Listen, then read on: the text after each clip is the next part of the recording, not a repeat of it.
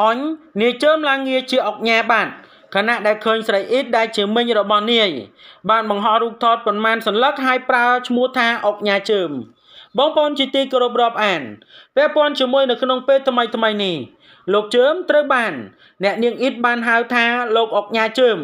ដែលបង្កឲ្យមានការចាប់អារម្មណ៍យ៉ាងខ្លាំងនៅលើបណ្ដាញទំនាក់ទំនងសង្គម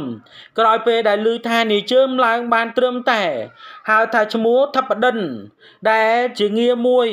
លើកទឹកចិត្តនៅពេលដែលលោកនឹងជួយកិច្ចការងារសង្គមប៉ុន្តែបែរជាអ្នក ស្រីអ៊ីតដែលត្រូវបានគេស្គាល់ថាជាតារាកំ pl ែងស្រីល្បីឈ្មោះបែរជាហៅក្មួយប្រុសរបស់ខ្លួនជាអុកញ៉ាទៅវិញដោយធ្វើឲ្យ fan fan ជាច្រើនមានការងឿងឆ្ងល់យ៉ាងខ្លាំងថាលោកជើមមិនដឹងថាឡើងអុកញ៉ាតាំងពីពេលណានោះទេ ស្របពេលដែលលោកជើមនឹងតែងតែប្រកាសនៅលើបណ្ដាញទំនាក់ទំនងសង្គមរបស់ខ្លួននាពេលកន្លងទៅថាលោកពិតជាចង់ខ្លាយទៅជាអុកញ៉ាខ្លាំងណាស់ ស្របពេលដែលតារាចម្រៀងរៀមច្បងរបស់លោកជាច្រើន កំពុងតែមានងារជាអុកញ៉ាហើយកំពុងតែរស់នៅបានយ៉ាងក្តីសុខនិងពោពេញដោយមានភាពល្បីល្បាញនៅមួយរយៈចុងក្រោយទោះបីជាឡើងងារជាអុកញ៉ាក៏តារាចម្រៀងដែលឡើងងារជាអុកញ៉ាគាត់មិនដែលភ្លេចនៅការងារសិល្បៈរបស់គាត់នោះទេដូច្នោះកុំឲ្យប្រិយមិត្តរបស់យើងរងចាំយូរសូមមេត្តាជួយ Subscribe និង Like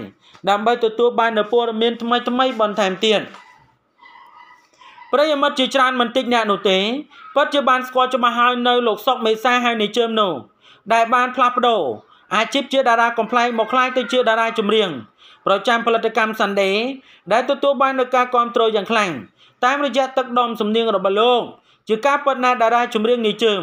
គឺកាន់តែទទួលបាននូវប្រជាប្រិយភាពនិងការគ្រប់គ្រងយ៉ាងខ្លាំងខ្លាំងខ្លា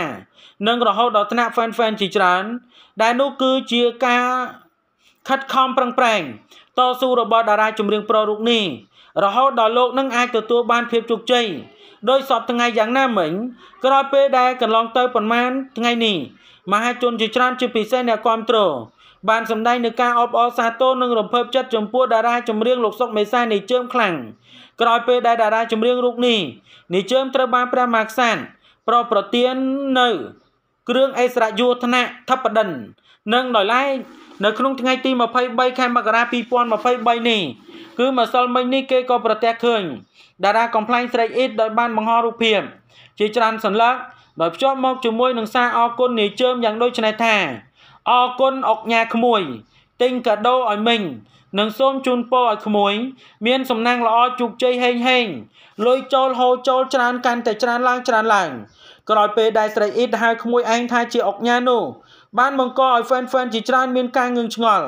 ថាតើនាយជើមនឹងឡើងអុកញ៉ាតាំងពីពេលណាមិនក៏មិនដែលដឹងសោះអញ្ចឹងរហូតមកទល់នឹងពេលបច្ចុប្បន្ននេះឬមួយក៏នាយជើមឡើងអុកញ៉ាតែម្នាក់ឯងឬមួយក៏គ្រាន់តែជាការហៅលេងយ៉ាងណាក៏ដោយ យើងក៏មិនទាន់អាចសមត់បាននៅឡើយទេដូច្នោះព័ត៌មាននេះមានប៉ុណ្ណឹងដើម្បីទទួលបាននូវព័ត៌មានថ្មីៗបន្ថែមទៀតសូម Subscribe និង Like